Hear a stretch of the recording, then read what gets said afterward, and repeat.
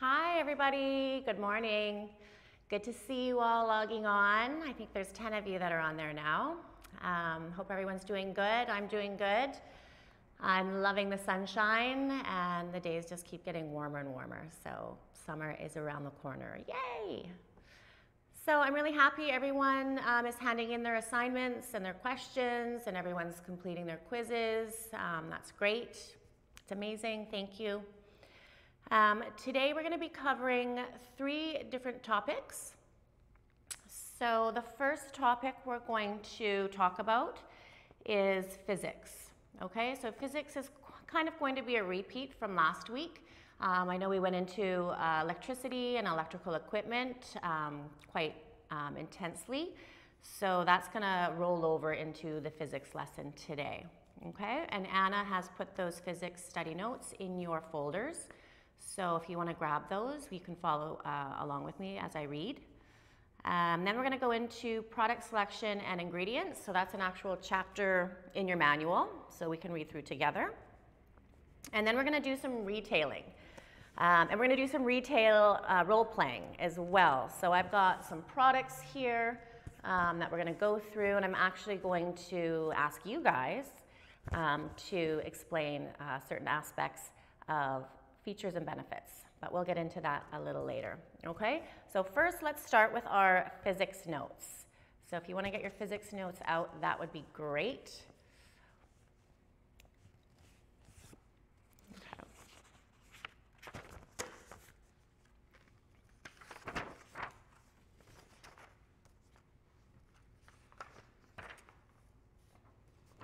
Oh, and um, I brought Morticia um, with me so I wouldn't be lonely um, all day. Most of you know who Morticia is. She's shy, she's turning away. Okay, physics. So, phoresis is also known by two other names. You need to know that iontophoresis and electrophoresis um, are forms of phoresis. This is the use of positive and negative ions with an aqueous solution to produce a chemical change on the face. So we talked about this last week, um, the effects that uh, positive and negative ions have on the face. Um, you remember that an aqueous solution is a water-based solution. And all forms of phoresis do produce chemical changes. So there's lots of contraindications as well that we need to be aware of. So you need to know disincrustation equals deep cleansing of the skin. Uh, it softens and liquefies sebum, and this is known as saponification. So saponification means softening and liquefying hard sebum. In cataphoresis, when using, um, when using cataphoresis, the blood vessels and ostia contract. This is soothing to the nerves. In anaphoresis, blood vessels and ostia dilate, stimulating the nerves. So remember with cataphoresis, we're driving products deep into the skin. So once the products are in the skin and they've been absorbed, the, the pores tighten, um, everything is soothed, and nerves, nerves and uh, capillaries are soothed uh, as well. The opposite in anaphoresis um, is deep cleansing. So things are stimulated, things are coming out of the pores, um, nerves are stimulated, blood vessels dilate um, because everything's coming out. Performing infiltration using the phoresis machine facilitates the ionized solution to penetrate the skin 1 16th of an inch. So not very much. It's a lot when you consider how small and how how minute the layers of the skin are, but it's really only 1 16th of an inch. Cataphoresis can be performed after anaphoresis. So if you want to do anaphoresis and cataphoresis. Anaphoresis happens first because you want to do your deep cleansing first, and then you want to drive all the products back in and tighten and close the pores, so then you can do cataphoresis. So you can do one after the other in that order. You need to know that zinc oxide blocks out all UV rays. Um, in any professional uh, skincare line, you're normally going to have one or two options for sunscreen, and those sunscreens should always have at least 6 to 8% um, zinc oxide. Okay? If the sunscreen you're buying doesn't have zinc oxide in it, then don't buy it. It's just full of chemicals.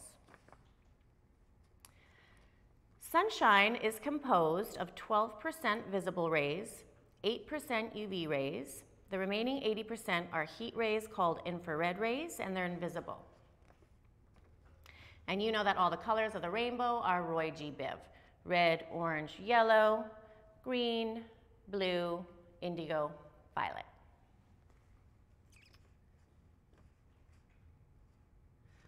Yeah, the chapter, the chapter's in your folder. Yeah, thank you. Photosensitizers. Photosensitizers are products or substances that make the skin more vulnerable to damage from UV rays. So things that you put topically on the skin that enhance um, the UV rays, basically the damage that the UV rays um, can cause. So things that you can put on the skin um, that intensify the damaging rays of the sun are essential oils. So you never want to put essential oils on your skin and then go um, into the direct sunlight. You don't want to use any fish oils, essential oils, um, especially citrus uh, perfumes, like um, perfumes that have bergamot, lemon, lime in them. Um, people that are on antibiotics are hypersensitive to that as well. Carotene. Now, carotene is derived from carrots. And carotene is what gives certain products that orangey brown tint. So a lot of self, uh, self tanners um, that you use to make yourself look like you're tanned have carotene in them. The number one reason we usually put self tanners on is so we look tan before we go out in the sun or before we go on a holiday.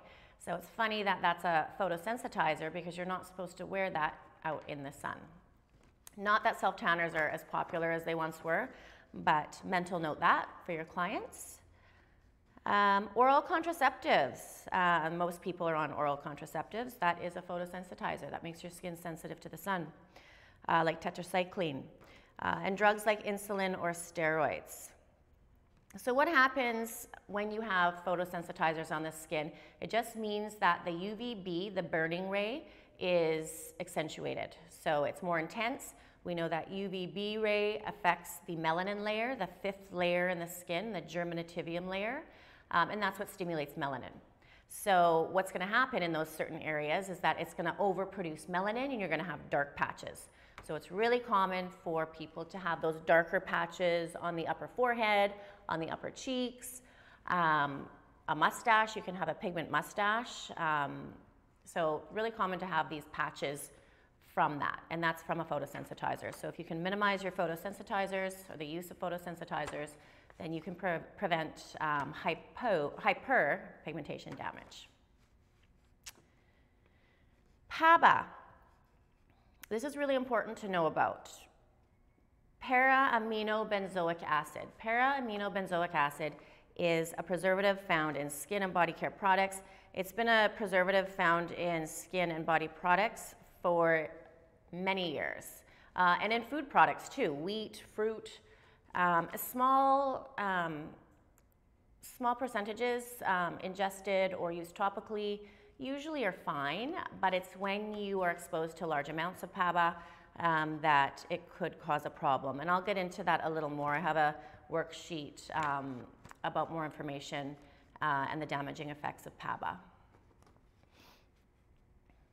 But you need to know that PABA is para-aminobenzoic acid.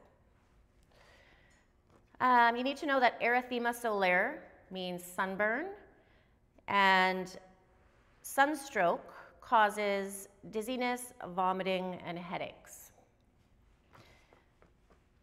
The infrared lamp that you can use during body treatments or facial treatments stimulates blood circulation, great for mature, dry, devitalized skins. So the infrared lamp is that red heat. It's a heat lamp basically. So instant stimulating, great for dry, mature, gets the blood vessels um, dilated, gets the blood flowing. Um, the blue lamp is the opposite. When you put the blue lamp above the client's face, it instantly diffuses redness. So if your client's having a reaction or they flush easily, they go red easily, um, put the blue lamp on them and it'll diffuse the redness. You can get the handheld devices as well that have the light therapy, so you can use it um, on specific areas um, with that device. So blue lamp diffuses redness, calms the skin, great for reactive, red, hot, inflamed, um, acne, and blotchy skin. Okay? So these are the physics notes that you guys have. It's just a page. Um, this is basically all you need to know for your test, okay? So you have your physics questions that you need to complete and hand in. I have all of the physics um, question answers here. I want to make sure everybody completes them, uh, completes the questions on their own first before I go over it.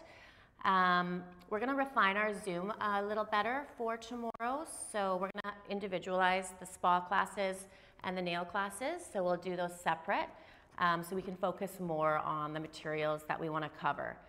So tomorrow when we do our Zoom, same time, 12 o'clock, um, we can go over all of our question answers um, or like we did uh, last week, specific questions you guys have, um, we can go over as a group. Okay? Ah, oops, I'm hitting the mic. Getting in trouble. Perfect.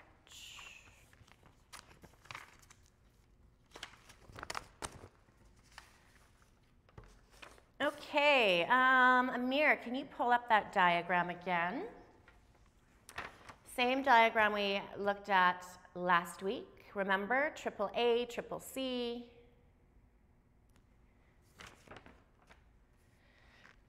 So in order to remember the equation for cataphoresis, you want to remember CCC. So cataphoresis, cations are being produced on the client's face, and the client is holding the cathode.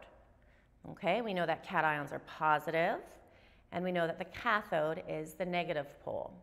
AAA, anaphoresis, anions are being produced on the face, the client is holding the anode, and we know that anions are negative, and the anode is the positive pole. What type of uh, solution do we use with cataphoresis? If cations are positive, and that's what's being produced on the client's face, then we know that we have to use a positively charged solution. So any aqueous water-based solution will be positively charged. And opposite of that, when we're doing anaphoresis, we want to use a negatively charged solution. So that would be like a baking soda and water or a saline solution. You also have to remember that during cataphoresis, we're driving products in, closing the pores, so blood vessels and ostia contract and uh, nerves are soothed. And the opposite in anaphoresis, this is stimulating, so nerves are stimulated, uh, blood vessels dilate. Um, and it's just overall stimulating and detoxifying. Okay? So that's it, really. All you really need to know is that one page of notes for your physics test. Easy peasy. Let's just go over contraindications as well. Um, just a review. Obviously, when you're using any kind of electricity on the face or body, um, you have to be careful of your clients that have metal implants, people that suffer from anxiety or hypertension, people that have cancer, people that are pregnant, people that have broken skin, reactive skin, um, high blood pressure, and epilepsy. Um, high blood pressure meaning that they actually have to be on medication. If they're not on medication for it, then it's fine. But if someone's actually on medication, then absolutely not. Okay?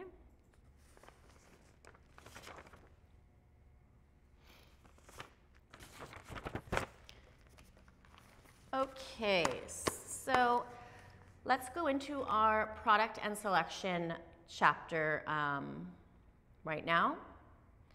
Product selection and ingredients. It's in your manual. I'll give you a minute to pull that up.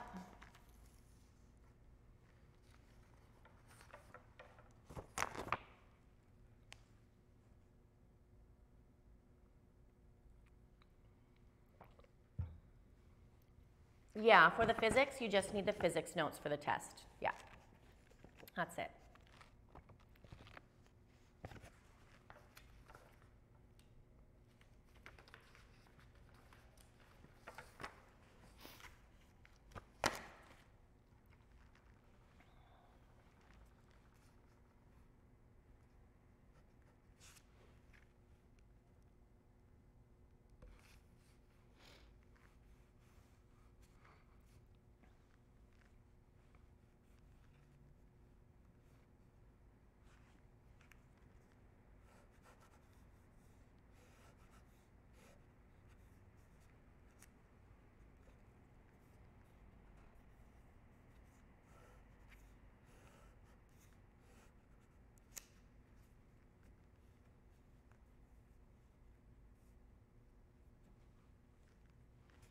Okay guys, let's start. Product selection and ingredients. An important part of the esthetician's job is to recommend sunscreen to protect the skin from UV rays. Estheticians need to stress to their clients that sun exposure not only leads to skin cancer but to aging, hyperpigmentation, capillary damage, free radical damage, and collagen and elastin deterioration. UVA rays are longer and absorbed by the dermis, causing uh, burning, aging, UVB rays are shorter and can penetrate into the epidermis, causing sunburns. And sunscreens either absorb or reflect UV rays. Okay, so you need to know that SPF refers to sun protection factor in sun, uh, in sunscreens. Okay, sun protection factor. So an SPF 2 blocks 50% of UVB, allowing a person to stay in the sun twice as long without burning. So if you normally can stay in the sun for two hours without burning, then if you use an SPF 2, this is going to allow you to stay in the sun for four hours without burning. Um, an SPF 8 blocks almost 90%, and an SPF 15 blocks 93% of UVB and some UVA. So yes, if you sweat a lot, or you go in the pool, or you're going into the ocean and you're washing off the sunscreen, you need to reapply but it will allow you to be in the sun that much longer than what you normally would be without sunscreen. Um, they say that an SPF uh, 15 is really all you need. Normally, a professional um, product, a professional skincare product with an SPF 15 has a very high percentage of titanium dioxide and zinc oxide. Okay, so again, make sure your, your sunscreens have those ingredients in them. If they don't, if they're purely chemical, um, then I don't want to say don't use them because I know doctors um, and dermatologists will say using a, a, chemical sunscreen is better than not using anything because obviously the sun's rays are damaging. But um, in the past, there have been studies, especially in Australia, with different sunscreens um, and some chemical sunscreens actually can cause cancer from the reaction uh, with the sun on the skin. So I'm not saying that that is a fact, but I'm saying there has been studies out there. I want you guys to do your own research um, and find out for yourself what people are saying, um, what studies are out there on chemical sunscreens versus um, more natural titanium dioxide, zinc oxide based uh, sunscreens. Okay? I find um, if I'm rushing and I haven't had time to order from my supplier to get my uh, sunscreen in the summer, um, I'll go to the baby aisle in the drugstore and I'll buy a sunscreen for a baby. And normally the baby sunscreens have titanium dioxide and zinc oxide in them. Um, they will go a little more white on the skin if you use too much, but at least you know you're getting more of a natural uh, protection factor. Okay? So we know that non-chemical ingredients are titanium dioxide, zinc oxide, and we call these physical blocks. They do not irritate the skin. Uh, Self-tanning lotions are formulated with dihydroxyacetone. Dihyd dihydroxyacetone um, is an, an, ingredient that reacts with the proteins on the skin, turning them darker. Um, so we talked about self-tanners. Usually there's carotene in these self-tanners, which is a photosensitizer um, which makes this, gives the tint uh, a brown, orangey kind of tint to the skin, making it look like there's a tan. Okay, choosing a product line. While professional products may cost more initially, they are more effective because of a higher concentrate of active ingredients. So that's what you tell your client. You're going to end up spending more money buying retail products because you're going to need to use more to see results. And retail products aren't that much more uh, or not that, that uh, much cheaper than professional products. Um, I'm finding now with retail products, they're quite expensive. Um, so if you're gonna invest the money, you're gonna spend all that money um, buying drugstore brands or even Sephora brands, um, you're paying a lot of money for that. Um, you might as well invest in a professional product. Professional products are concentrated, so you need to use a lot less. Um, so you actually end up saving money uh, in the end. So less product is needed because of the high concentrate um, of ingredients. The product your client chooses to, be at home, uh, to use at home may be more important than those you use during a facial treatment. So you always want to recommend uh, home care for your client to maximize the benefits of the professional service. Okay, yes, they're going to see results right away after their professional facial, but you want to tell them that they want to use these products at home just to maximize the benefits. Um, retail sales are not just about making money, you are educating your client on the best way to take care of their skin. You are in the best position to recommend products. Usually, the markup price for retail products is 50%. So, yes, you want to maximize the benefits of the facial that your client just had, and you want them to um, benefit from the professional service. But at the same time, you want to sell retail because you want to make money. You want to make extra money. So, normally in most spas that I've worked at, um, they always give you 10%. So, starting with 10%. So, if I sell a cream for $50, I'm going to get an extra $5 um, on my paycheck for that hour. Okay, so if you're selling a cream every hour, that's an extra $5 every hour. If you're making $20 an hour, now you're making $25 an hour, and that is significant on your paycheck. So, one thing you should get into the habit of doing with all your clients is recommending product. Okay, and we're gonna get into how to do that confidently um, in the next chapter. Um, yes, you wanna make money, but you also wanna make money for your employer. The more money you make them, the happier they are with you, and that gives you an upper hand. Um, lots of people have incentives, they have um, games that they play with uh, employees, they have employee of the month in terms of client retention, uh, retail sales, service sales. So they give prizes. Sometimes it might be a trip to Whistler, it might be a gift basket full of product, um, it might be cash. Um, employees will reward um, their employee, or employers will reward their employees that um, exceed um, what's expected of them, which is nice. Ingredients can be derived from plants, animals, or vitamins. They are also synthesized from chemicals in the lab.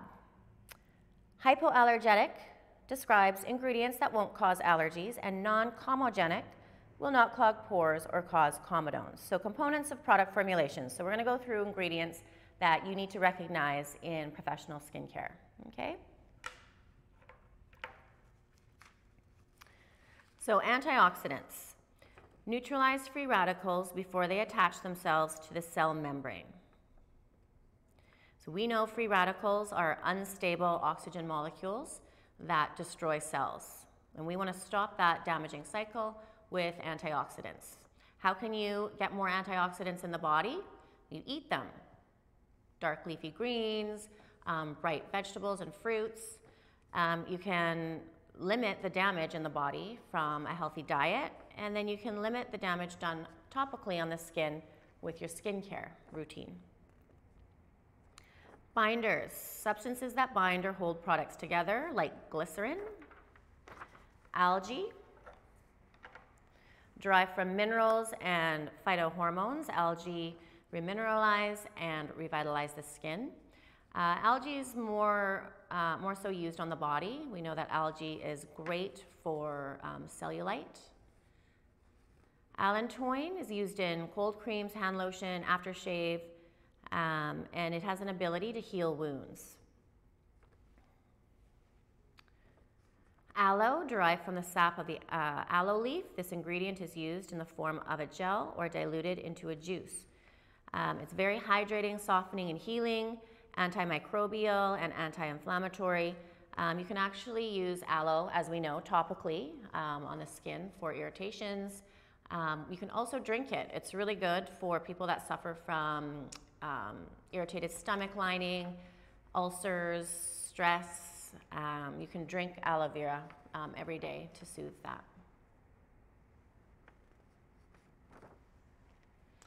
Alum, made from uh, aluminum, potassium, or ammonium sulfite, has a strong astringent action and is usually used as a styptic to stop bleeding in small cuts. Azulene, derived from the chamomile plant, has a deep blue color is great on sensitive skin because of its anti-inflammatory soothing properties. Benzoyl peroxide, a drying ingredient with antibacterial properties, commonly used for blemishes and acne. It can be an allergen or irritant.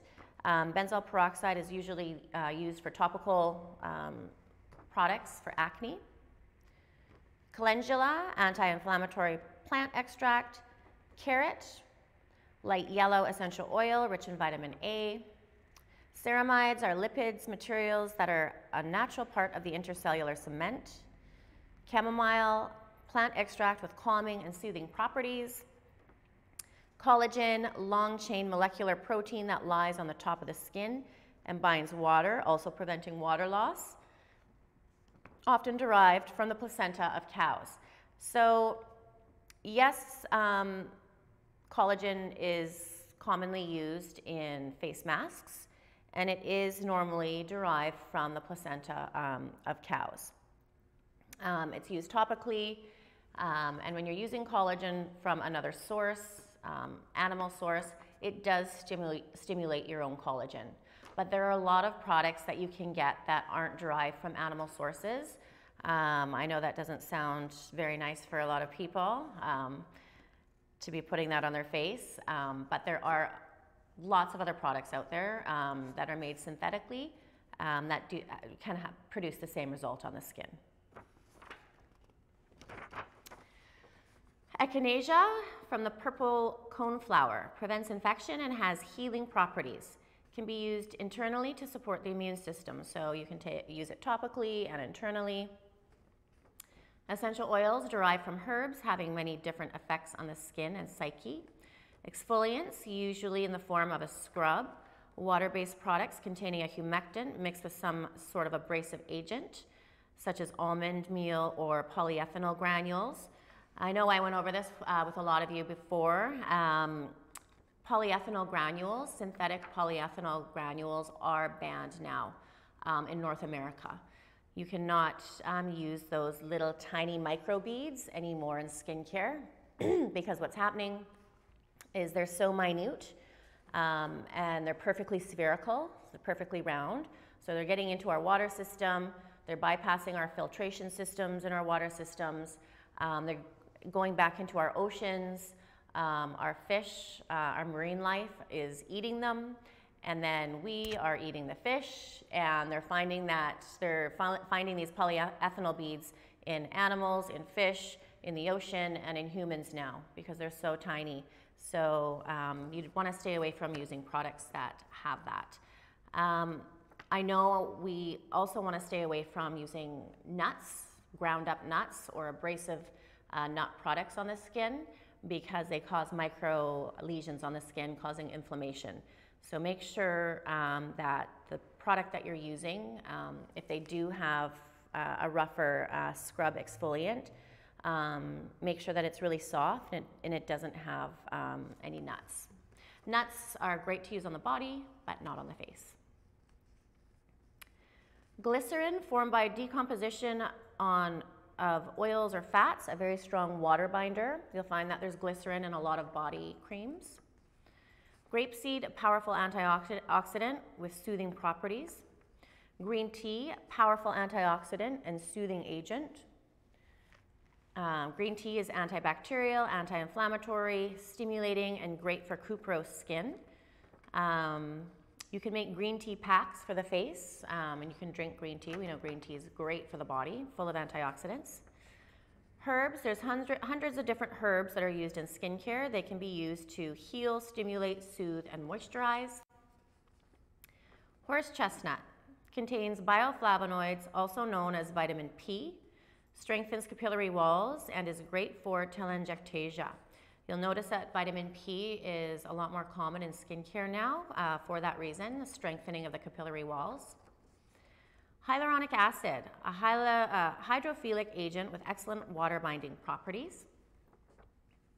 Jojoba, extracted from the seeds of a desert shrub and is used as a lubricant. Kojic acid, a brightening agent. Kojic acid is used in a lot of brightening and lightening creams. Lanolin, a high water absorption. Uh, it's a derivative of sheep's wool. So you'll find that there's lanolin in a lot of body creams, body creams that are richer for cracked heels or cracked skin. You'll see lanolin. It does come off of a sheep's wool. So it's extracted from the hair. They shear the sheep and then they extract the oil from the hair, um, obviously without hurting the sheep because the hair grows back, but it does come from an animal. Um, lavender, an all-purpose oil that is antibacterial, antiseptic, anti-inflammatory.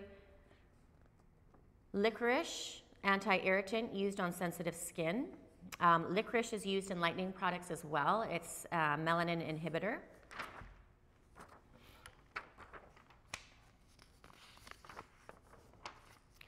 Liposomes are hollow spheres made of lipids that are used to transport other agents. Methylparaben uh, is a preservative. Mineral oil is a de-emulsifier of uh, dirt trapped in pores. So if you have a really thick, cakey makeup, um, you can actually pre-cleanse with mineral oil, remove it, and then cleanse with your regular fo uh, foam or milk cleanser. Mucopolysaccharides carbohydrate lipid complexes, good water binders. Papaya is a natural enzyme. Papaya is great to add into sea salt scrubs or body scrubs used topically on the body. Um, and papaya is actually really good to eat after meals, like after a heavy dinner. They say eat some papaya or um, pineapple, and those natural enzymes will help break down and digest food. Parabens are preservatives. Peppermint is really good for reducing um, irritation, itching, redness. Um, it cools and constricts capillaries. Petroleum jelly, occlusive agent that restores the barrier um, layer by holding in water. Potassium hydroxide is a strong alkaline used in soaps. Propylene glycol is a humectant. Quaternium 15 is a preservative. Retinoic acid is a vitamin A derivative um, used to treat acne and aging, wrinkles. May cause photosensitivity, redness, and peeling, so it is quite strong. You have to be careful. Rose is moisturizing um, and it's used for deodorant properties. Salicylic acid is an exfoliant, an enzymatic exfoliant um, sorry, it's an as, uh, exfoliant, and it comes from sweet birch or willow bark.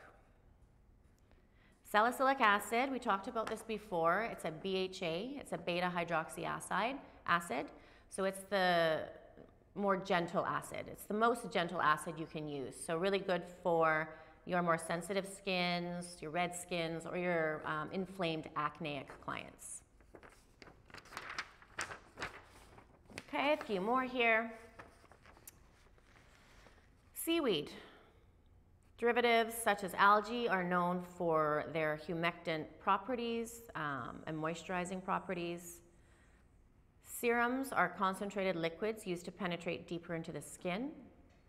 Silicone leaves a protective film on the skin. Sodium bicarbonate, baking soda, is a salt uh, used for cleansing the skin or neutralizing.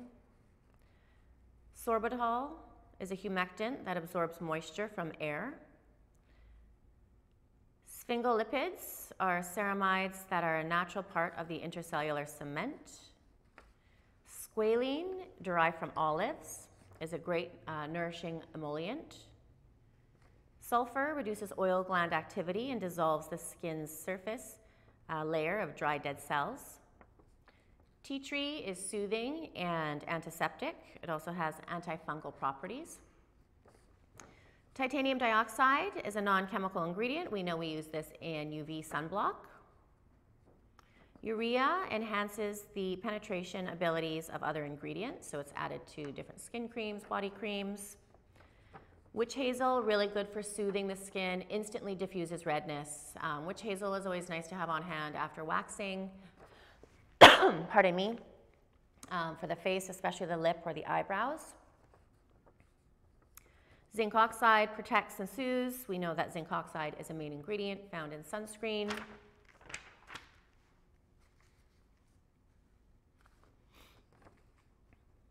Choosing the correct product formulations is important to effectively treat the skin. So these are all ingredients that are just commonly found in skincare. You need to familiarize yourself with all of these um, and you need to be able to educate your client on different ingredients found in the products that you recommend for them. Okay, um, your product and ingredients quiz is going to be based on different ingredients and their definitions. So you have, um, you'll have a word bank at the top and then you'll have all the definitions and then you just have to match them, okay? So we'll go through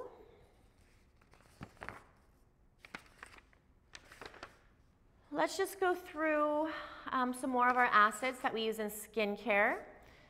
Then I want to talk a little bit about international laws regarding um, what chemicals are allowed in skincare um, in Canada and the UK. And then we'll just kind of do some review for the quiz, and then we'll have some question answers afterwards, okay?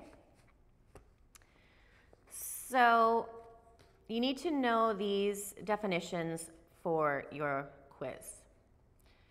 You need to know the definition of antioxidants, binders, cleansers, colorants, emollients, fragrances, healing agents, humectants, lubricants, preservatives, solvents, surfactants, vehicles, zinc oxide, titanium dioxide, sodium bicarbonate, jojoba, parabens, and retinoic acid. Okay?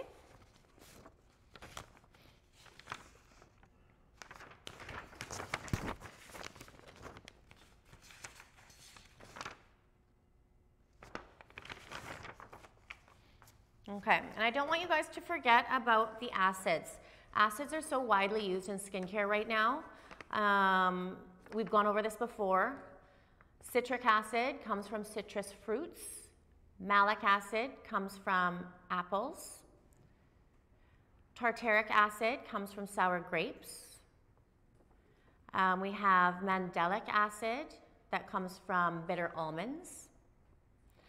Uh, lactic acid comes from milk.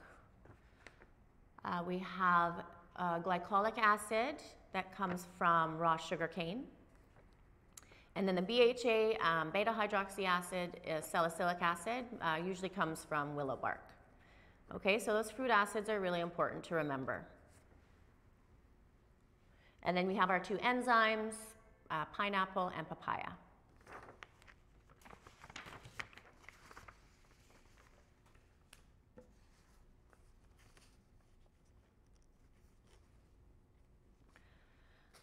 Okay, I want to talk about something fun now.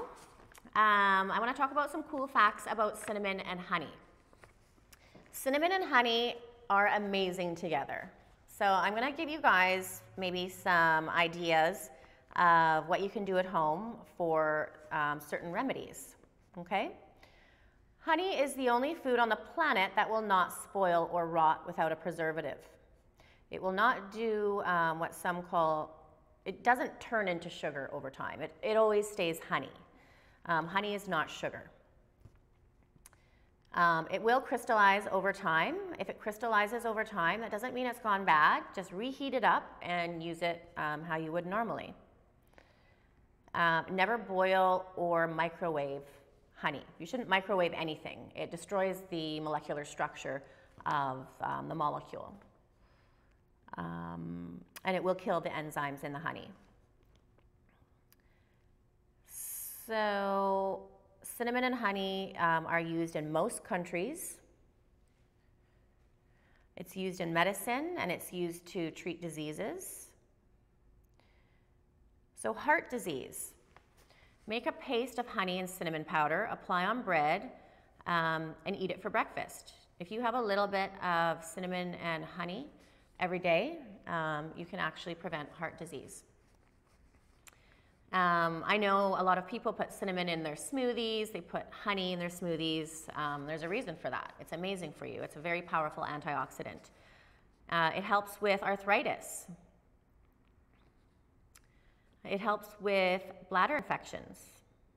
If you just put some cinnamon and some honey in a glass of warm water and you drink it every day, um, it can prevent that.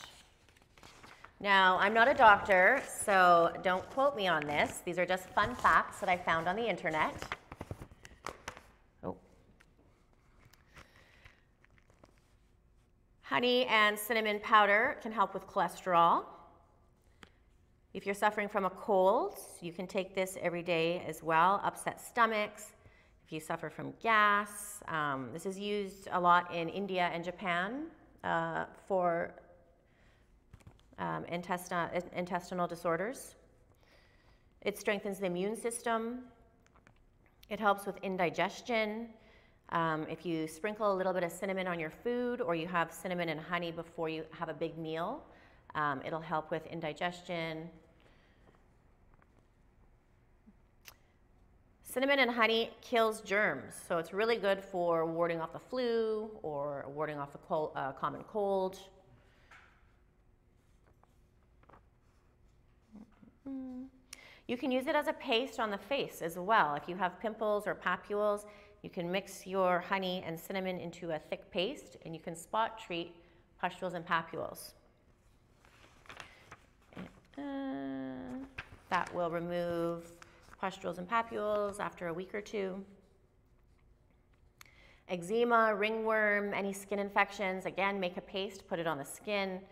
Now it says here weight loss. I haven't tried this yet, but again, I know cinnamon's really good for stimulating uh, the metabolism. If you have cinnamon and honey um, in a drink, half an hour before you eat breakfast, so first thing in the morning, uh, and then right after, or right before you go to bed, before you brush your teeth, um, this apparently helps reduce weight. Um, more so in, in obese people, if you're already fit, it's not gonna make you skinny. Um, but if you have excess fat to shed, it will help with that. Cancer. Uh, research in Japan and Australia have revealed that advanced cancer of the stomach and bones have been cured successfully um, from people taking a daily tablespoon of honey uh, with one teaspoon of cinnamon powder for one month, three times a day. That's a lot of cinnamon. Um, helps with bad breath, fatigue. Um, and it says it also can help uh, restore hearing. It sounds like the wonder drug, basically. But fun facts, you guys can do some research and figure things out for yourself.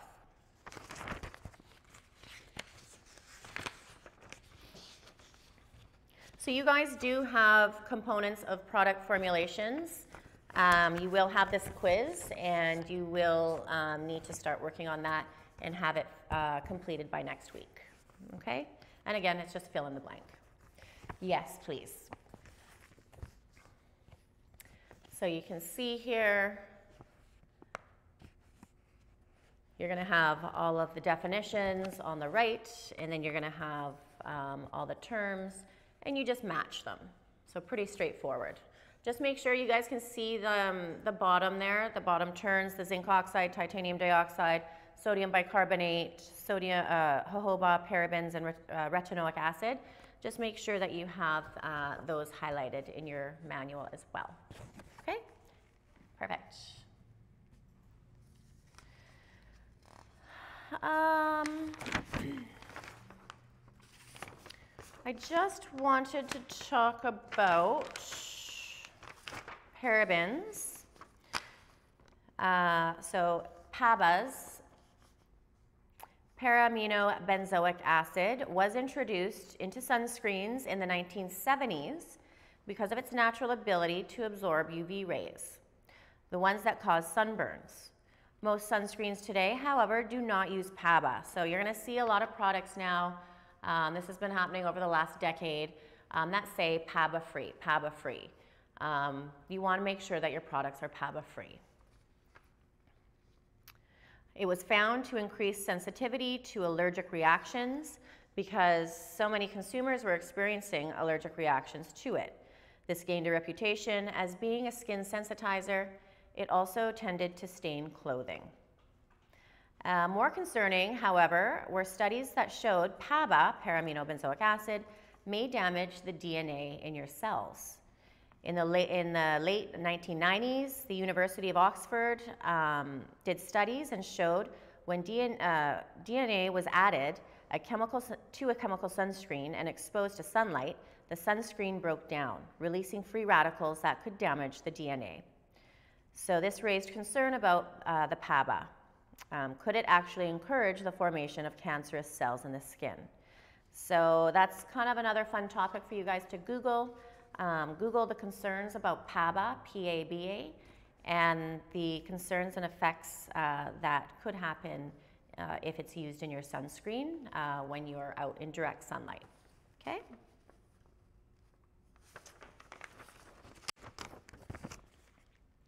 Now I want you guys to think about this as well when you're buying skincare products. Um, in the UK, United Kingdom, this um, probably is, this could have changed over the past year, um, but approximately 6,000 chemicals have been banned for use in cosmetic products. So body products, skin products, 6,000 basically in Europe. Um, guess how many products or ingredients have been banned in Canada? Do you guys want to take a guess? If 6,000 chemicals have been banned in the UK for use in cosmetic preparations, how many do you think have been banned in Canada? More or less? Amir says more. Do we have any other guesses? Yukiko, Gabby, Saho, take a guess.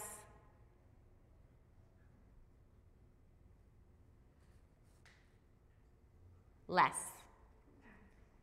Canada has only banned about 500 ingredients. So you could say that um, our products are more toxic. Um, they contain more toxins.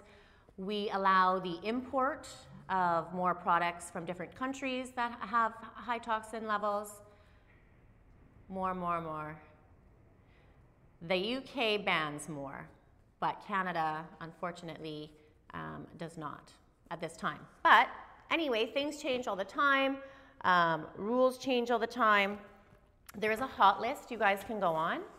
So if you go on to the um, cosmetic prohibited ingredient hot list, again, cosmetic prohibited ingredient hot list. You can go online, all the information's on there. You can see exactly how many ingredients are banned in different countries, what Canada's doing to stop that, what, the, what happens in the UK, um, what happens in other countries. Um, and it's really important. And there is a hot list of ingredients that you should not use topically on your face. And the number one product that has the most chemicals in it is lipstick. And where do we put lipstick? On our mouth.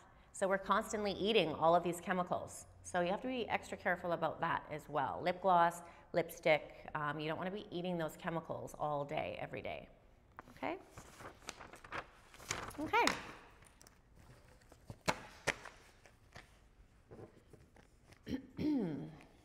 now we're going to get into some retailing. Okay? Have some tea. Okay. Oh, wait, let me see. Hold on. Oh, perfect. That's awesome. Yeah.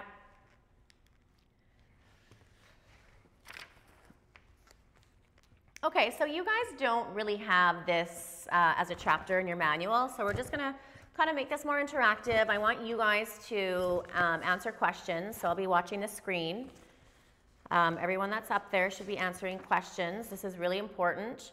This is important for your client because they need to go home with professional products, and this is important for you because you need to make more money, and this is important for your boss or your employer because they need to make more money. Um, so I'm going to go over how to retail and how to figure out what the features and benefits are of certain products. Now, I've gone over this with some of you that have taken different modules. We go over um, retailing in pretty much every module. Um, so some of you will find this um, to be more of a review. Okay? So when you're dealing with professional products, I'm actually going to bring my professional products that I have over there over so you guys can see them better.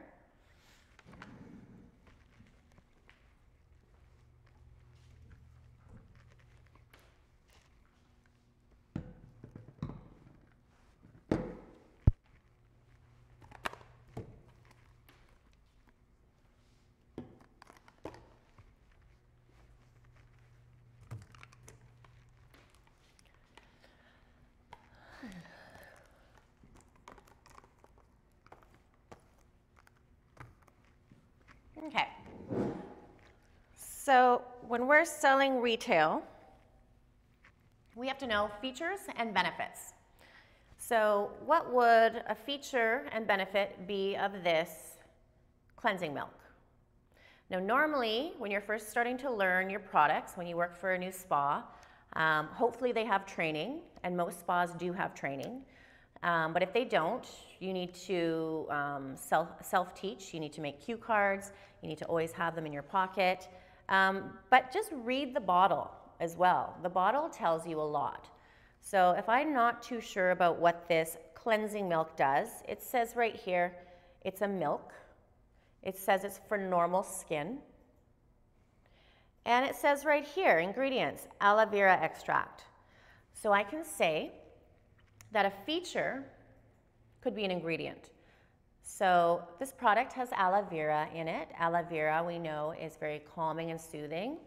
Um, and it's great for normal skin. So it's not too rich and it's not going to dry the skin out. And you, if you have a little bit of redness, it's going to diffuse the redness.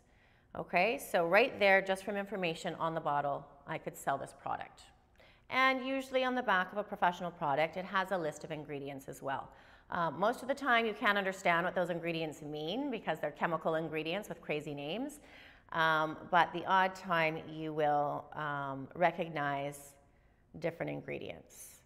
Okay, and you can see that the aloe vera uh, is on the back here too.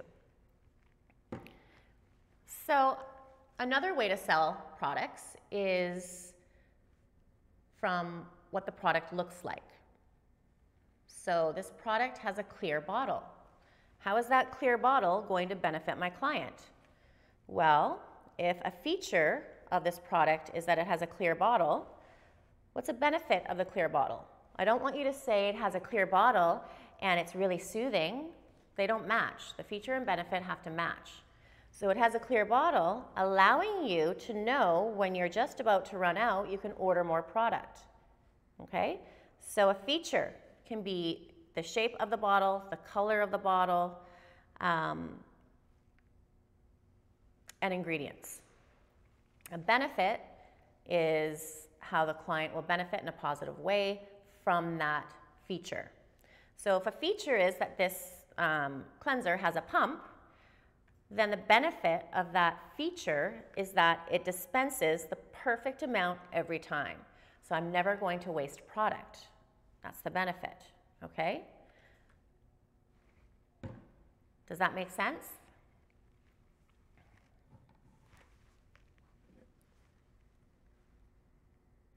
Who is going to tell me a feature and benefit of this perfect brightening cleansing foam? This perfect brightening cleansing foam um, is a foam cleanser. It has a pump. Um, it has a solid um, bottle. It's not, you can't see through it. And it's for lightening. It lightens the skin. So remember, what are some lightening ingredients found in skincare that actually lighten hyperpigmentation? Who's going to guess? Mina.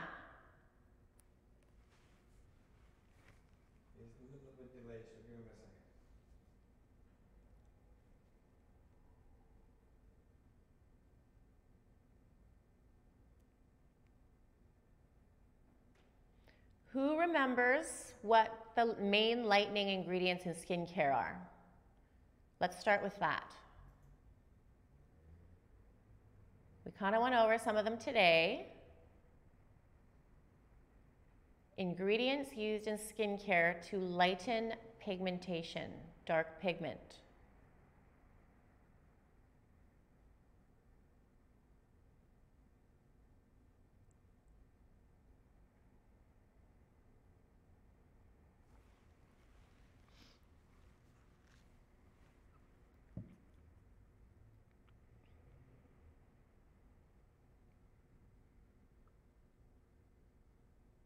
You guys are no fun. Nobody? Okay, I'll help you out. We can't spend too much time doing this. So, lightning ingredients we know licorice root, bearberry, mulberry. What's the fourth one? Licorice root, mulberry, bearberry, and kojic acid. Okay, so say that I'm saying um, that this product has kojic acid in it, so it's really good with lightening all your dark pigmentation. Done. One feature, one benefit. If you can name one feature and one benefit per product when you're selling, you'll sell the product. Um, it was really hard for me to actually sell products and push products because um, I was shyer, I felt uncomfortable. Yes, licorice root, exactly. Um, but once you get comfortable and you get comfortable with your verbiage and you get confident with the ingredients and it, you actually do your studying and you have little cue cards on you, um, after a couple months, it'll all be uh, memorized and it'll all just roll off your tongue. Um, I learned this in training when I started at Beverly's the Spa on 4th as an esthetician years ago, and they were the one spa that gave me the best retail training, and I learned all of this from them. So, um, and it worked. It really did work. So let's see. This is long lasting eye contour cream. So this comes in a little pump. So again, you could say it comes in a little pump, so it dispenses the perfect amount every time. And you also want to let your clients know with eye creams not to use too much. We know it's a grain of rice size per eye and we only apply the cream to the orbital bone. The orbital bone is right around the eye. If you go closer, this is going to absorb right up into the lash line and into the eye and irritate the eye.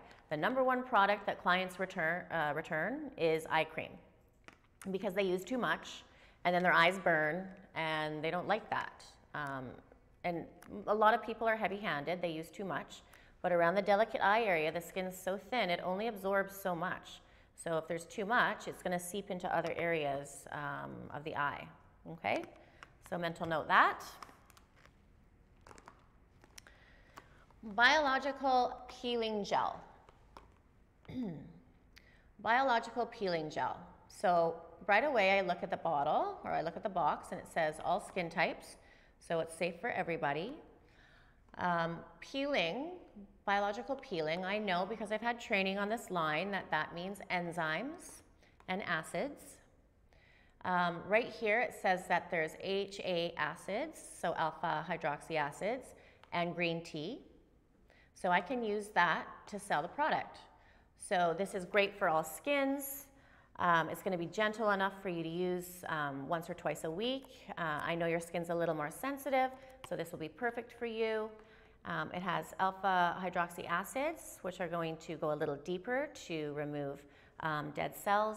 And the green tea is a great uh, antioxidant to help rebuild um, and stimulate your cellular structure. Okay, done. You don't want to say, this cream is amazing, I use it, it smells so good, and it's just so moisturizing. No one cares that it smells so good and that it's moisturizing. Everyone says it's moisturizing, it's good for wrinkles. It's so it's just so nice. No, we don't want to hear that. We want to hear the facts. As a consumer, we're, we're very educated now. You guys are educated now when you go, you buy products. You want to know it works. You want to know what you're spending your money on. So just know that your clients are very educated and they want the facts. Okay? Good.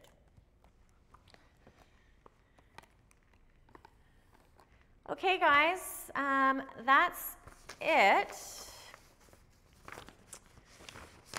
Your feature and benefit retailing quiz is going to have written statements, so it's going to have a benefit of a product or it's going to have a feature of a product.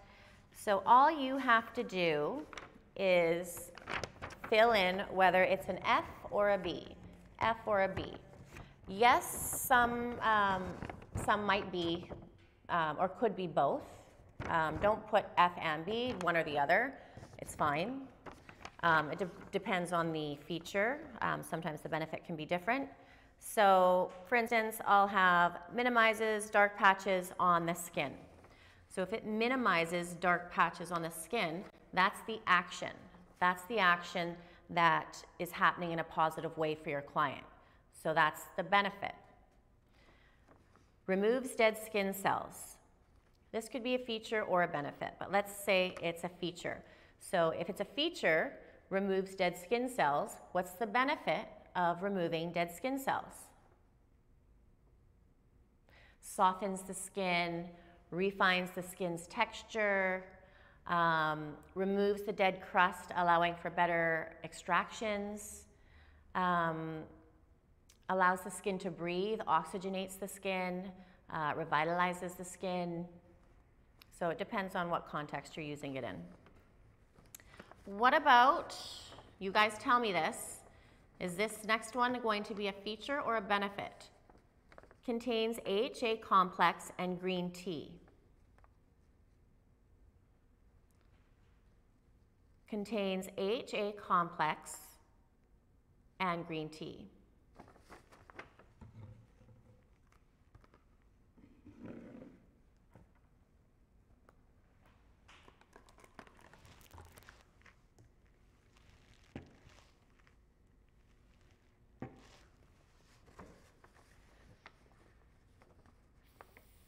Feature or benefit?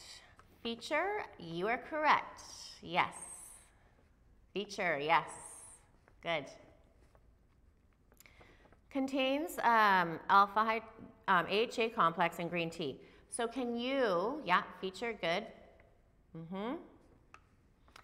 Who can tell me what a matching benefit to that would be? What is a benefit of a product containing AHA complex and green tea?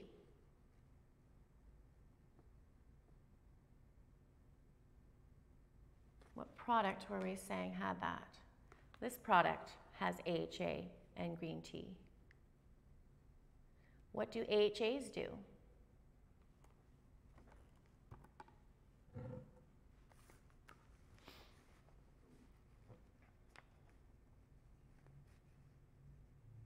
What do alpha hydroxy acids do?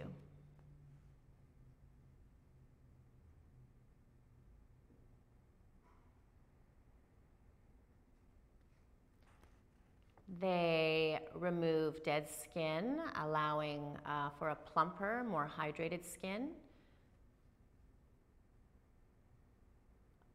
Um, the green tea will calm redness, yes. Green tea is soothing, so it will um, reduce redness. Yeah, good, good. Okay, let's try another one.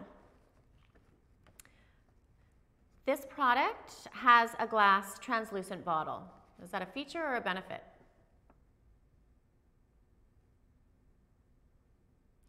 AHAs help to remove dead skin, yep. Mm -hmm. Anti-inflammatory, yep.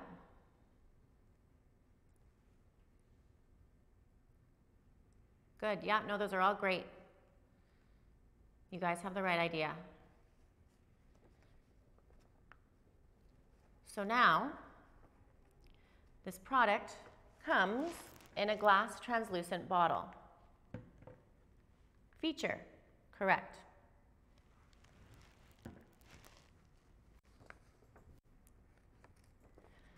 This product erases puffy eyes and dark circles. Feature or benefit.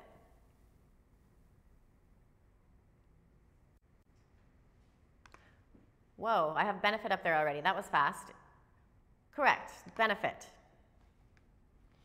So erases puffy eyes and dark circles is a benefit. What about allows for better product penetration? This product allows for better product penetration.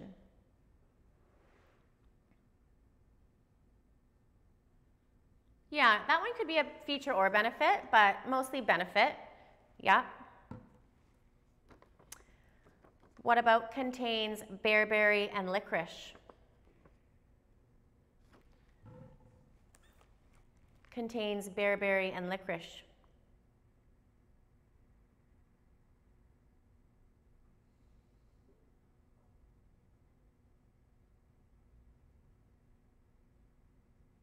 Are all those B's for bearberry and licorice? Or for the other one? The other one, okay.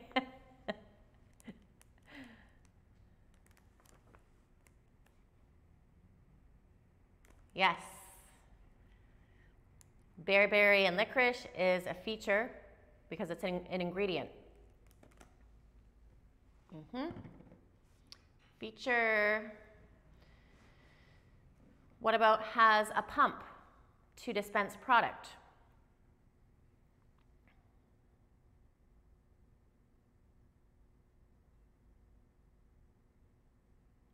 Comes with a pump to dispense product.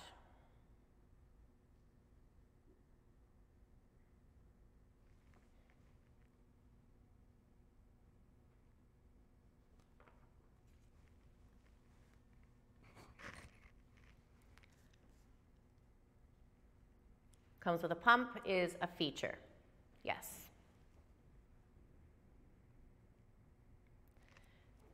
And does somebody want to type out for me on the screen what a benefit to that feature is? So this pump, this product comes with a pump. What's a benefit of this pump? How am I going to benefit from having a pump on my product?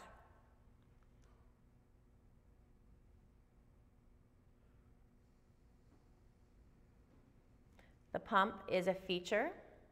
So what's the benefit? Who wants to type it out?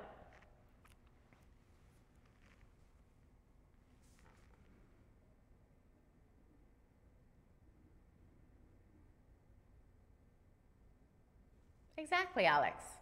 The perfect amount comes out every time. Um, another great thing about a pump is that you don't have to open the product, um, scoop it out, um, and allow air into the product. We know that air oxidizes, um, so it lessens the efficiency or, or, the effect of the ingredients every time.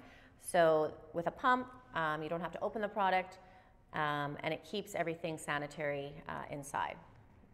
Avoid wasting product, exactly, uh, Mina, that's a good one. Um, you can tell your product you only need to use two pumps of this morning and night. Don't use any more, don't waste it. This will last six to eight months if you use it correctly. So yeah, good. Those are good. Awesome. So I think you guys have it. Um, all you need to know is that a feature is a specific fact. A benefit is a key action of how the product will help uh, your client reach their goals. Okay? And all you have to do is write an F or a B, feature or benefit, for your retailing quiz. Okay? Good.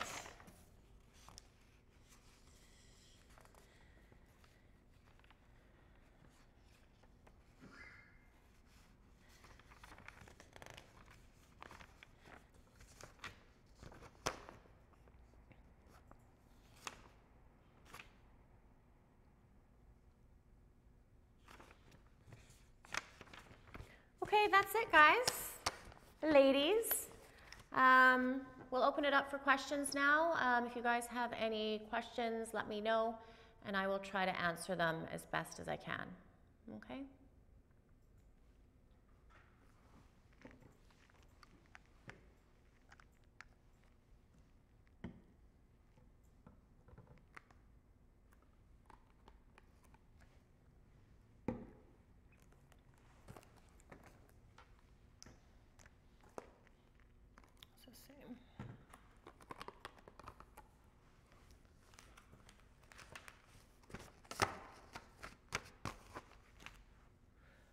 Some of you have questions.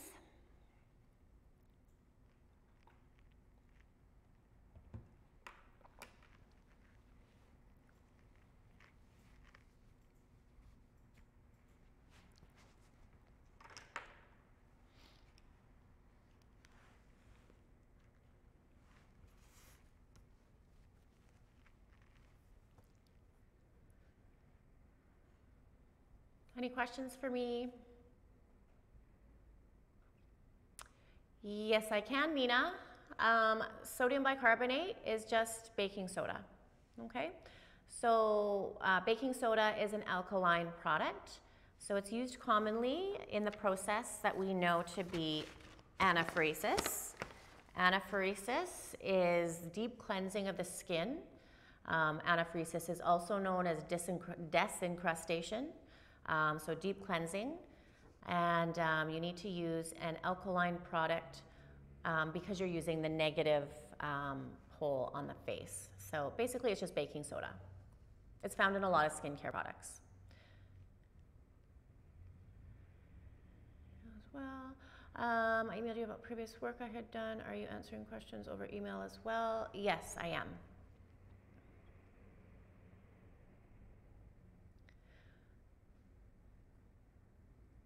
If you're sending me your questions or quizzes um, via email, um, I can answer certain questions, specific questions that you have pertaining to questions or quizzes, I can answer for you guys.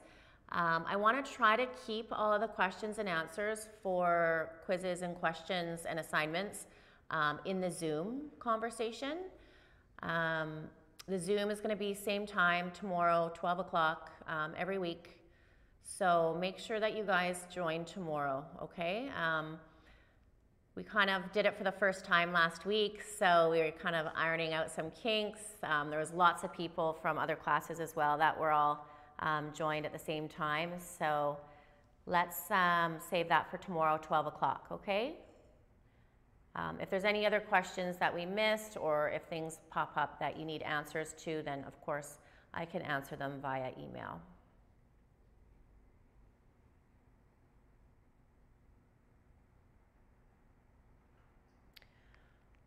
Um, ingredients notes. Sounds like much. I'll make sure. I'll double check and see what Anna's already sent you for that. Um, but I'll make sure I send you um, the specific information um, for the ingredients quiz. You definitely don't need to know everything. Um, your manual does have everything because I, I read directly from the manual, um, but you only need to know a few specific um, ingredients. So I'll make sure that you have that in there.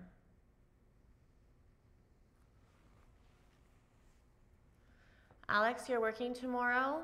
Um, okay, yeah, just if there's, if you have any specific questions related to um, the information in your manual, then you can email me. Um, that's fine.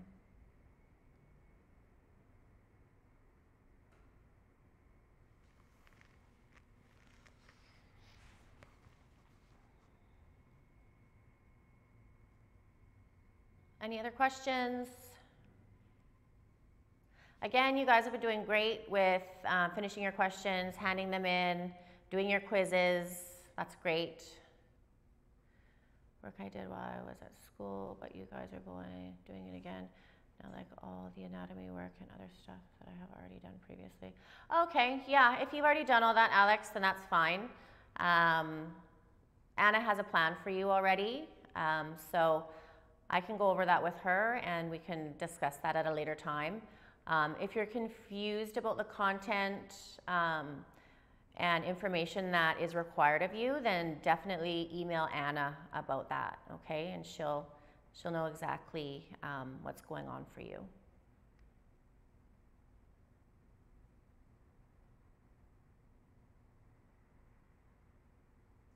Yeah, we'll make sure that um, we go over everything that uh, needs to be done.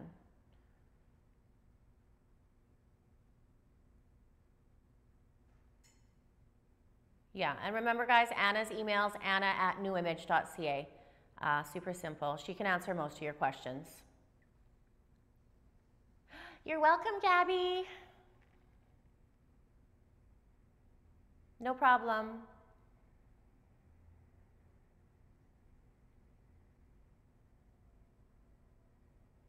Okay, guys, I think that's it. Um, we'll see you at Zoom tomorrow, 12 o'clock. And um, again, if you have any questions, then those should go directly to Anna, anna at newimage.ca. And uh, I, I had a lot of fun today. Great seeing you all. I can't see you, but I'm Im imagining I can. And um, we'll have our next lesson next week. Bye.